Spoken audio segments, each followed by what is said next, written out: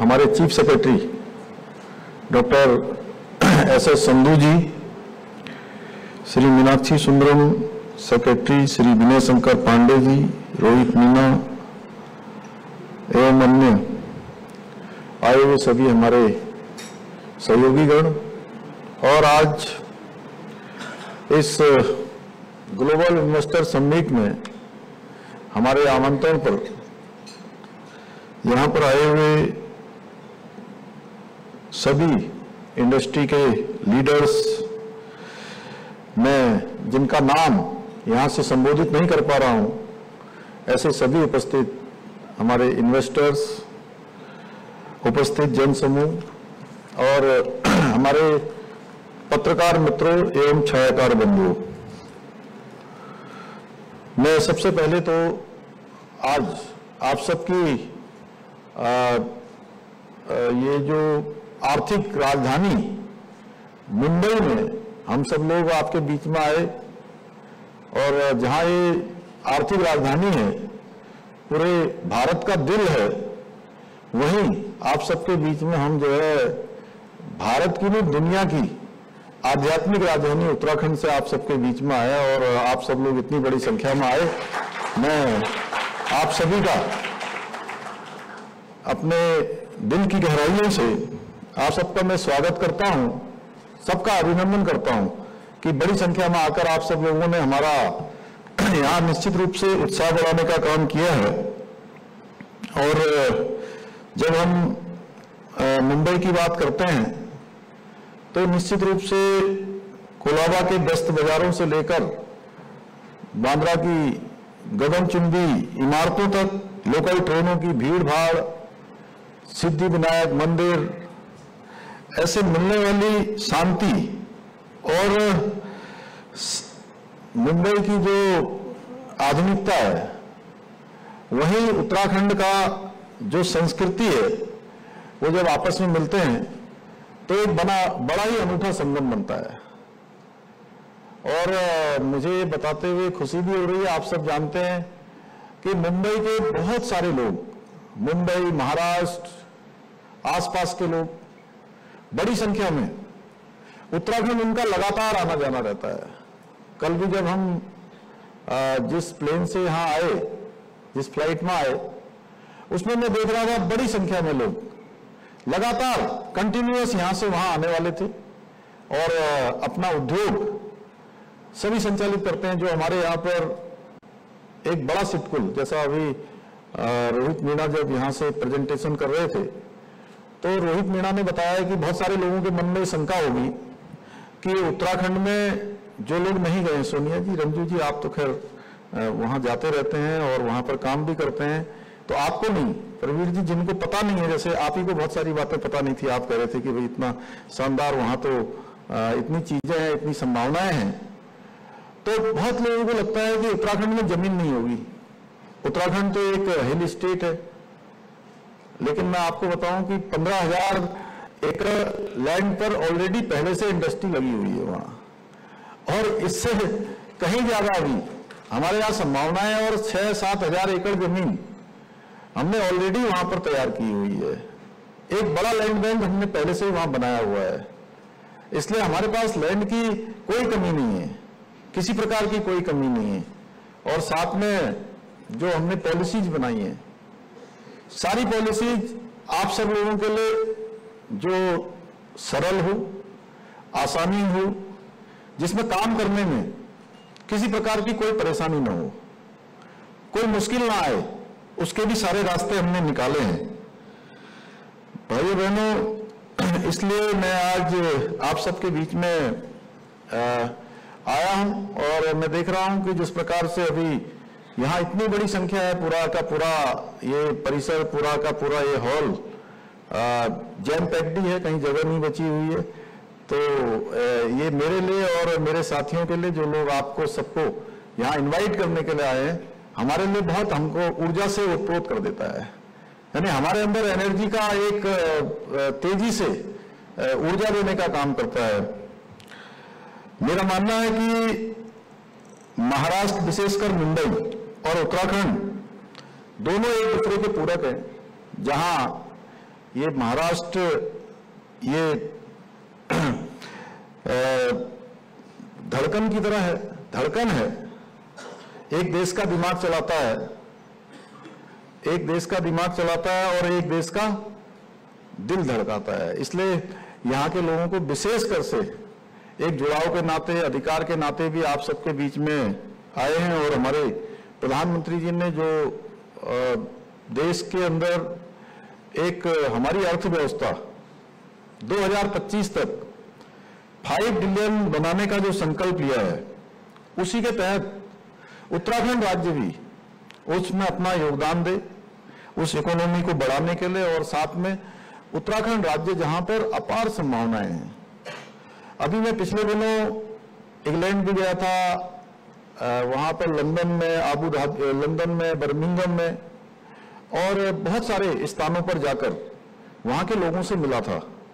उसके बाद Abu Dhabi और दुबई में भी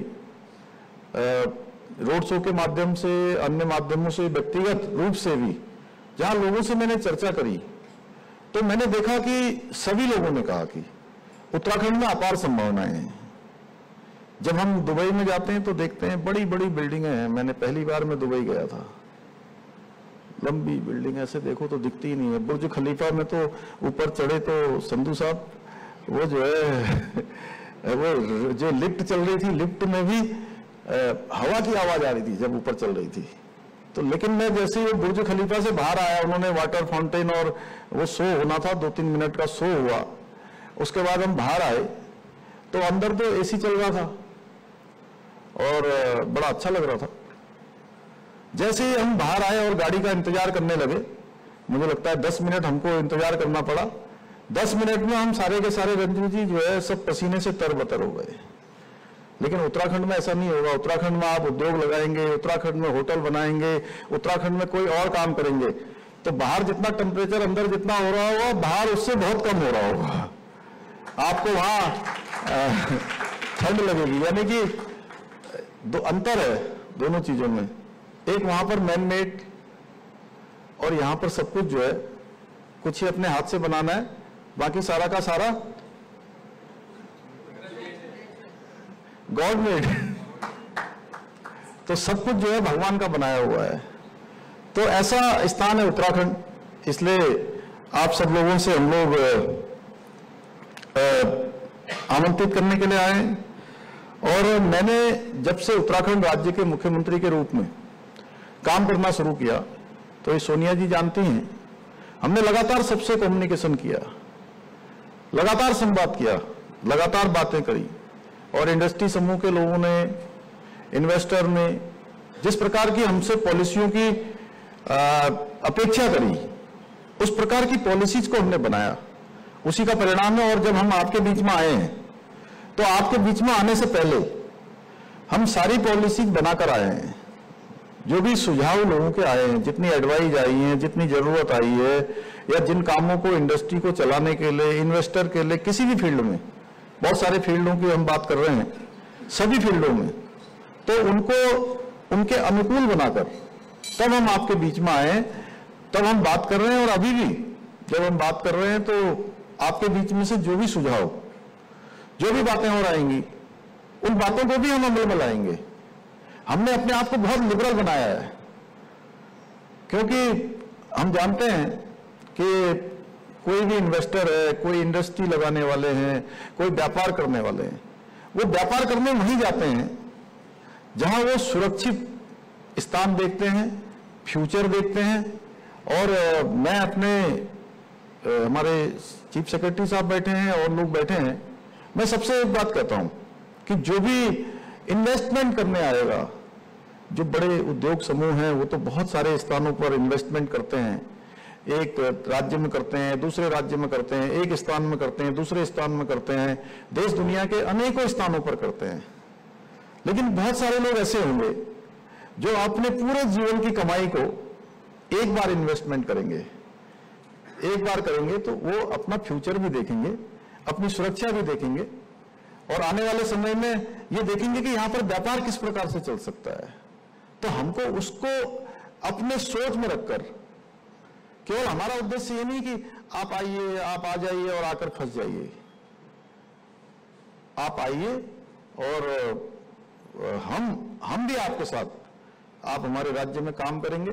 तो ये तय मानिए कि डायरेक्ट नहीं, लेकिन इनडायरेक्ट रूप से हम आपके एक सह पार्टनर के रूप में हैं।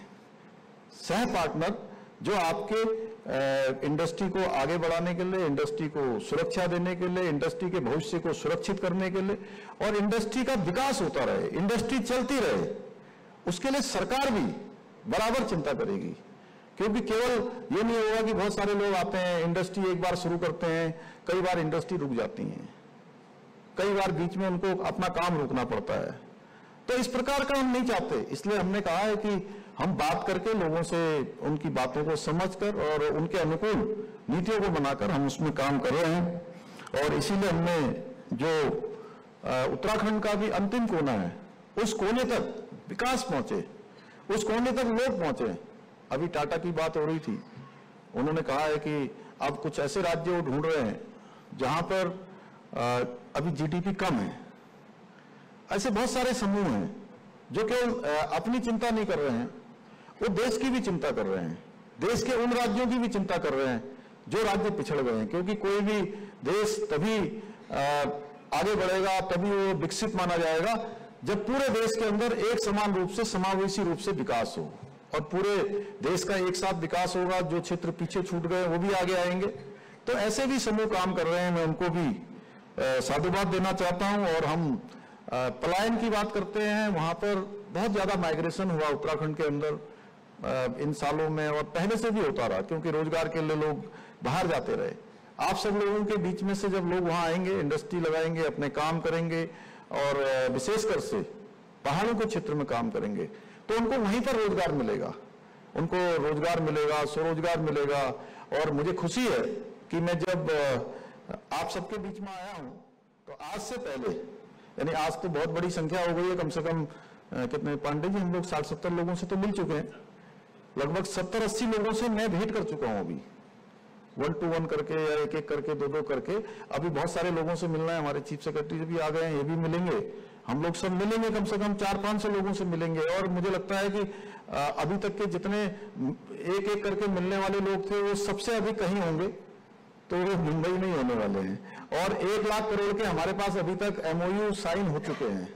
और वो केवल एमओयू नहीं हुए हैं।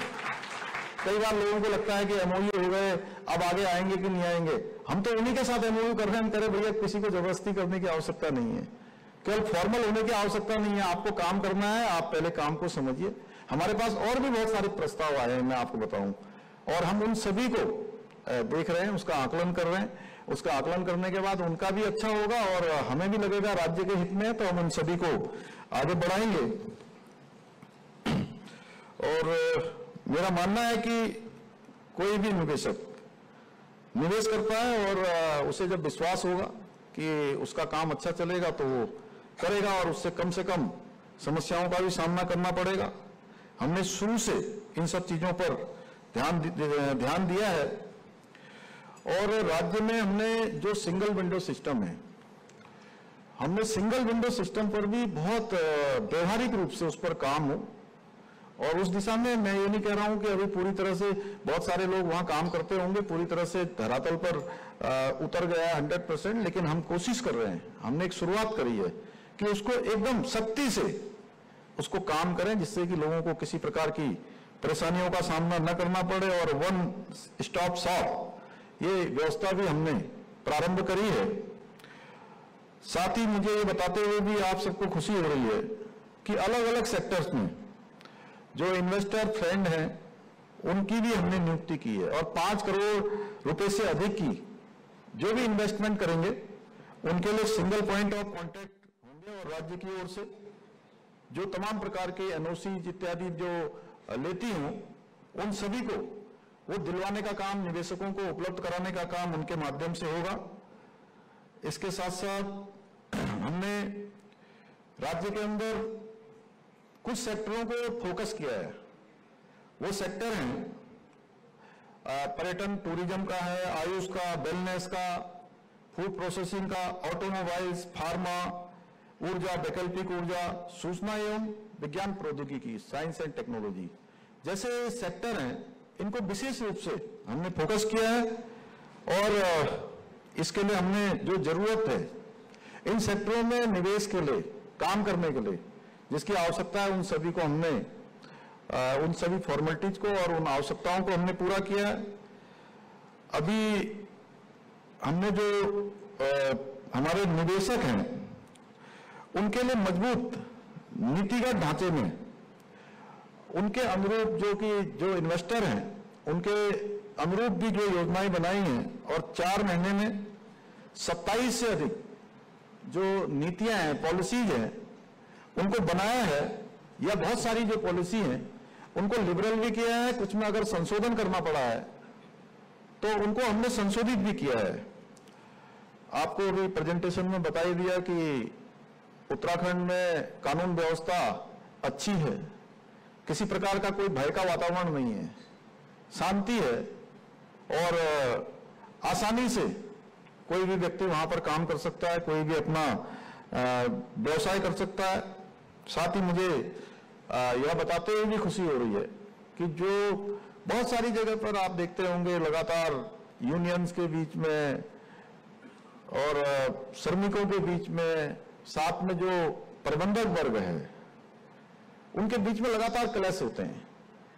लेकिन हमारे यहाँ उत्तराखंड में क्लैश बहुत मतलब न्यून से भी न्यून है ज़ीरो है। मैं कह सकता हूँ कि बिल्कुल है ही नहीं। या कहीं पर ज़रूरत पड़ती है तो हम लोग कोशिश करते हैं कि उसको भी तत्काल जो है समाप्त कर दिया जाए। विद्युत टैरिफ पूरे देश के अंदर सबसे कम उत्तराखंड के अंदर है। और पीस टू प्रोस्पेरिटी के मूल मंत्र के साथ हमने निवेश के अनुकूल सरकार अत्याधुनिक जो बुनियादी ढांचे हैं और उत्कृष्ट जो मानव श्रम है, शांतिपूर्ण वातावरण है, पारदर्शी प्रोत्साहन नीतियाँ हैं। और सबसे बड़ी बात है कि आज हिंदुस्तान के अधिकाधिक शहरों से, हमारे यहाँ देहरादून से सीधी फ़्लाइट चलती है। लगभग 40 के लगभग फ्लाइटें चलती हैं। इसके साथ जो एक बड़ा हमारा सिटकुल पंतनगर में है, वो पंतनगर के सिटकुल के पास हम अंतर्राष्ट्रीय स्तर का हवाई अड्डा बना रहे हैं। जल्दी ही उसके लिए हमने जो सारी फॉर्मेलिटीज है, लगभग 800 एकड़ की ज़मीन राज्य सरकार ने भारत के जो विमानन मंत्रालय है, उस मंत्रालय को हमने हस्तांतरित करने की प्रक्रिया कर दी है। और रेल सेवा भी लगातार चल रही है और दिल्ली के बहुत नज़दीक है, पूरा का पूरा क्षेत्र जैसा अभी सोनिया जी बता रही थी कि आ, दिल्ली से साढ़े तीन घंटे में देहरादून पहुँच रहे हैं। आने वाले समय में ये दूरी भी आपकी मात्र दो से अधिक अधिकतम मतलब दो या अधिकतम ढाई घंटे में आप दिल्ली से देहरादून पहुँच पाएँगे। हरिद्वार पहुँच जाएँगे ऋषिकेश पहुँच जाएँगे और रामनगर रुद्रपुर ये सारा स्थान जहाँ हमारा बड़ा सिटकुल है वो सारा का सारा दिल्ली के बहुत नज़दीक का क्षेत्र है। और हम कोशिश कर रहे हैं आने वाले समय में कि अंतर्राष्ट्रीय उड़ानें भी हमारे यहाँ से चलें। उस दिशा में भी हम काम कर रहे हैं। भाई बहनों, मुझे पूरा विश्वास है कि निजी क्षेत्र के साथ मज़बूत संबंध बनाने एवं जो हमारी साझेदारी है, उसको स्थापित करने के से हम राज्य में आर्थिक प्रगति और जो रोज़गार के अवसर हैं, उसको और मज़बूत कर सकते हैं। इसलिए उत्तराखंड में हमने उद्योगों के साथ बेहतर संबंध एवं तालमेल बढ़ाने के लिए हमने अपनी जो सबसे ज़्यादा प्राथमिकता रखी है, हमने, हमारी प्रायोरिटी है कि हम निवेश को बढ़ावा दें, उद्योगों को अच्छा माहौल दें, अच्छी व्यवस्थाएँ करें अच्छा सुशासन का जो भी काम होता है वो सारा का सारा उद्योगों के क्षेत्र में, निवेश के क्षेत्र में भी लोगों को दें। और आप सब जानते हैं कि देवभूमि जो उत्तराखंड है कई बार लोग कहते हैं कि साहब वहाँ पर डेस्टिनेशन कहाँ है? फ़िल्म इंडस्ट्री वाले जैसे मैं फ़िल्म इंडस्ट्री वालों के बीच में गया तो उन्होंने पूछा कि आपके यहाँ इतने डेस्टिनेशन है, इसके अलावा कहाँ कहाँ डेस्टिनेशन है ऐसे बोलते हैं, देहरादून है, हरिद्वार है, ऋषिकेश है, चक्राता है, औली है, उत्तरकाशी है, नैनीताल है, मुक्तेश्वर है, कौसानी है, मुंसारी है। तो मैं उनसे कहता हूँ कि आपकी नज़र जिधर को जाएगी, आपकी जिधर को नज़र जाएगी, उधर ही आपको एक नया डेस्टिनेशन दिखाई देगा। देखिए, गंगा वहाँ निकलती है। गंगा जी निकलती हैं। गंगा जी का उद्गम है, यमुना जी का उद्गम है, पिंडर है, अलकनंदा है, भागीरथी है, सरस्वती है महाकाली है, कोसी है, ऐसी अनेकों नदियाँ जो साल भर प्रभाव रहती हैं। वो सारी की सारी देवभूमि उत्तराखंड से ही निकलती हैं। हमारे यहाँ ग्लेशियर हैं, बर्फ़ की चोटियाँ हैं, पर्वतों की श्रृंखलाएँ हैं, और उससे बड़ी बात कि पूरे राज्य का 71 परसेंट जो एरिया है, वो फॉरेस्ट है। जिम कॉर्बेट जैसा पार्क उत्तराखंड में है, राजाजी नेशनल पार्क उत्तराखंड में है, और पूरी दुनिया के लोग, वहाँ पर आते हैं टाइगर देखने भी आते हैं टाइगर सफारी भी करते हैं। तो पर्यटन की दृष्टि से, आयुष की दृष्टि से वेलनेस की दृष्टि से, हर दृष्टि से, देवभूमि और काम करने की दृष्टि से भी। देवभूमि में उद्योग धंधे भी भगवान की कृपा से फल फूल रहे हैं अच्छे हो रहे हैं और हमारे प्रधानमंत्री जी का भी विशेष जो लगाव है, वो उत्तराखंड राज्य के साथ है। और उन्होंने उत्तराखंड को इस दशक को उत्तराखंड का दशक उन्होंने कहा है कि इक्कीसवीं सदी का तीसरा दशक उत्तराखंड का दशक होगा। उस दिशा में हम तेज़ी से आगे भी बढ़ रहे हैं। आज मुझे यह भी बताते हुए खुशी हो रही है कि इस साल आप लोगों ने देखा होगा, बीच में चर्चा आई होगी कि जोशीमठ में भूस्खलन हो रहा है। लेकिन इस वर्ष की जो यात्रा हुई है, अभी तक पचपन लाख तीर्थ यात्रियों ने चार धामों के दर्शन कर लिए हैं। अभी 18 तारीख तक यात्रा चल रही है अभी। आज छह तारीख हो रही है। लगभग 12 दिन अभी और बचे हुए हैं। और 55 लाख क्रॉस हो गया है। अब तक की सबसे बड़ी संख्या। अभी आदि कैलाश की यात्रा पर माननीय प्रधानमंत्री जी गए हैं। सड़कों का जाल बिछ रहा है। रेलवे की लाइनें बिछ रही हैं। नई रेलें चल रही हैं। हर प्रकार से आज उत्तराखंड आपके अनुकूल है। और मैंने ये बातें इसलिए कही कि आप लोग सोच रहे होंगे कि अच्छा हम उत्तराखंड क्यों जाए जी क्या ज़रूरत है? हमारा तो काम यहाँ अच्छा चल रहा है। मैंने कहा कि उत्तराखंड में जन्म लेना, ये जन्म लेना देखिए, हर किसी के अपने हाथ में नहीं होता है। किसी के हाथ में है क्या जन्म लेना? नहीं है ना तो भगवान की इच्छा से जन्म होगा, कहीं भी होगा तो। लेकिन कर्म करना, ये हमारे हाथ में जब आपके पास आगे संभावनाएँ हैं तो मैं आप सबसे अनुरोध करूँगा कि उत्तराखंड में ज़रूर अपनी संभावनाओं को देखिए। आप आइए और देवभूमि उत्तराखंड की सवा करोड़ देवतुल्य जनता की ओर से मैं आप सब लोगों को 8 और 9 दिसंबर को जो हमारी इन्वेस्टर समिट देहरादून में हो रही है आदरणीय प्रधानमंत्री जी ने भी आ, उनका भी उसमें मार्गदर्शन हमको मिलने वाला है तो मैं उसके लिए आपको आमंत्रित करता हूँ और मुझे पूरा विश्वास है कि उत्तराखंड राज्य के विकास में आप सभी लोग सहभागी बनेंगे देवभूमि में। आ, अपने कर्म को आगे बढ़ाने के लिए देवभूमि आपको आमंत्रित कर रही है। और इस अवसर पर मैं आप सब लोगों को यह भी विश्वास दिलाता हूँ कि आपको उत्तराखंड में अपने उद्योग स्थापित करने में इन्वेस्ट करने में किसी भी प्रकार की कोई परेशानी किसी भी समस्या का सामना नहीं करना पड़ेगा। आइए उत्तराखंड में निवेश कीजिए। उत्तराखंड आपका इंतज़ार कर रहा है। आप सबका बहुत बहुत धन्यवाद।